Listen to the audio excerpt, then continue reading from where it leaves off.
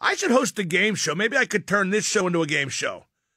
Name five WNBA players or sit through a Will Smith film festival or listen to an entire Wham album or one of Joe Biden's speeches or get kicked in the nuts. Given choice, I'd just go right to getting kicked in the nuts.